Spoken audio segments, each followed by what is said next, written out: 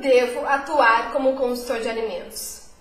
Por que eu devo pensar na consultoria como uma possibilidade de atuação? Quais são as vantagens de ser um consultor de alimentos? Você já parou para pensar sobre isso? Eu acho que todo mundo que já pensou em atuar ou que está pensando em atuar pensa em uma dessas perguntas. É por que, que eu devo atuar? Será que é o melhor caminho? Será que realmente isso é a melhor forma de atuar na área de alimentos? É a mais vantajosa? É a mais interessante? É a que atende às minhas expectativas, às minhas metas profissionais? Vem comigo que eu vou falar um pouquinho sobre esse assunto.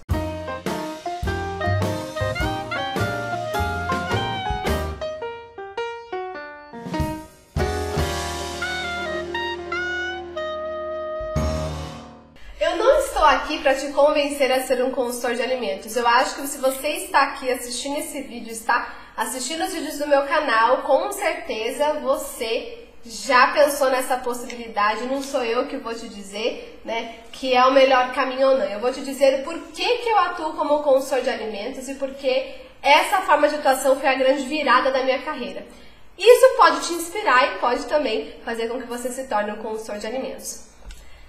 No mercado de alimentação que vivemos hoje, né, e aliás eu me formei há 10 anos, já atuo como consultora há 10 anos, o mercado é o mesmo, não mudou praticamente nada nesse sentido. Nós vivemos um mercado competitivo, um mercado com pouquíssimas possibilidades de atuação, um mercado que não dá espaço para quem não tem experiência e um mercado que pouco valoriza o profissional da área de alimentos. Então nós temos inúmeros profissionais formados que nunca atuaram na área, profissionais que acabaram de se formar, que estão desesperados por uma oportunidade e não conseguem, profissionais que estão empregados, mas que não estão satisfeitos com o seu trabalho porque não são valorizados, não são reconhecidos, trabalham muito e ganham pouco. Então, realmente, o mercado de alimentação, né, de empregos para profissionais da área de alimentos está muito difícil. E quando há uma oportunidade de trabalho, você não é valorizado, não é reconhecido. Então você acaba aceitando aquela oportunidade, porque não tem muitas, mas você acaba se submetendo a coisas, a situações e a um salário que não é compatível com você e com o profissional que você é, com a competência que você tem, com a dedicação que você aplica. Eu posso dizer isso com muita propriedade, porque vivi tudo isso. Demorei para arrumar um emprego na área, com salário ruim, não era reconhecida, fui humilhada várias vezes então, assim, realmente não tive experiências boas com uma profissional registrada na área de alimentos, tá? Essa, esse é um dos motivos pelo, pelos quais eu escolhi ser consultora de alimentos. Segundo, eu sou uma pessoa que não gosto de rotina. Então, eu gosto de estar em diferentes lugares, trabalhar com diferentes pessoas ter liberdade de espaço, onde eu possa ser consultora em São Paulo, em Recife, na Bahia, no Rio de Janeiro, onde eu possa levar o meu trabalho para inúmeros lugares, eu não fico preso né, num lugar só. Eu tenho vários clientes na mesma cidade, vários clientes na mesma região, então isso me possibilita ter uma liberdade de espaço bem grande. Eu também gosto de liberdade de tempo, ou seja, eu gosto de fazer meus horários, ter a minha agenda, ter tempo para cuidar de mim, de estar com a minha família, de fazer o meu trabalho, de estudar e a consultoria me dá essa possibilidade. Claro que como consultora e tendo essa liberdade de tempo, eu preciso ter responsabilidade em relação aos meus horários, eu preciso ser comprometida com o meu trabalho e comigo mesma, para que em vez de eu estar trabalhando e usando o meu tempo a meu favor, eu não esteja perdendo tempo com besteiras. Então, ter disciplina nessa parte do tempo é muito importante. E também eu gosto de ter liberdade financeira. O que, que é isso? É você ter a liberdade de escalar a sua renda dentro da, do, da quantidade de serviços ou de contratos que você tem. Então, por exemplo, quando eu trabalhava num lugar fixo, eu podia trabalhar muito, ralar pra caramba, me dedicar, dar meu sangue ali, que no final do mês o meu salário ia ser o mesmo, tá? Salvo algumas horas extras que tem de vez em quando, ou aquele famoso banco de horas, né, que nem sempre é o que a gente espera, tá? Então, realmente trabalhei muito para outras pessoas e ganhei muito pouco. Porque o mercado não paga aquilo que a gente realmente tem como piso. E quando paga, eu piso. É aquilo ali certinho, não é um real a mais. Você pode trabalhar muito, você pode ser a melhor funcionária que você não tem aumento.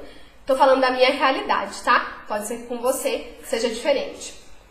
E a consultoria me deu, então, essa liberdade financeira, onde eu posso ter vários clientes, não quer dizer que eu vou trabalhar pouco, tá? Mas quanto mais clientes eu tenho, melhor eu recebo. Então é compatível com o tanto que eu trabalho, diferente do que era anteriormente. E você tem a possibilidade de fechar grandes contratos com grandes empresas que vão pagar muito mais e talvez você pode trabalhar menos, porque você tem um contrato bem bacana que já te paga bem, tá? Então a consultoria me permitiu viver essas três liberdades que para mim são valores importantes: liberdade de tempo, liberdade financeira e liberdade de espaço. Hoje eu sou uma consultora, que eu sou muito bem paga pelo meu trabalho, sou uma consultora que trabalha no Brasil inteiro como consultora atendendo empresas no Brasil inteiro, então eu não estou limitada mais só na minha cidade, eu, posso, eu tenho clientes no Brasil inteiro e posso atuar no Brasil inteiro. E eu tenho a liberdade de tempo que eu tanto prezo, tanto gosto, tá? Então esses são um dos poucos motivos que eu posso trazer para lhe provar que a consultoria de alimentos é uma das formas de atuação mais maravilhosas do mundo. Claro que eu sou suspeita a falar disso, mas você pode analisar e quem sabe você também preze por essas três liberdades a consultoria é uma das possibilidades para você poder trabalhar com o que você ama, tendo tempo, tendo espaço, tendo uma renda compatível com o seu trabalho, tá certo? Então, por que atuar como consultor de alimentos? Eu te apresentei aqui três motivos que são extremamente importantes para mim, que talvez sejam interessantes para você também, tá? Espero ter te ajudado. Não se esqueça, se inscreva no nosso canal, dê o seu joinha, clica lá no sininho para receber as nossas notificações Toda semana tem vídeo novo para você. Mayara, me interessei muito por essas três liberdades, realmente é o que eu estou procurando como profissional. Como que eu faço para começar a atuar como consultor de alimentos? Você precisa se encontrar comigo numa imersão, como fazer consultoria em serviço de alimentação, onde eu vou te ensinar tudo isso. Se você quiser saber mais sobre imersão, deixe seu comentário aqui embaixo que eu e minha equipe vamos te ajudar a se inscrever em uma das turmas que acontece no Brasil inteiro para você poder começar a atuar como consultor o mais rápido possível e usufruir dessas três liberdades tão interessantes aí.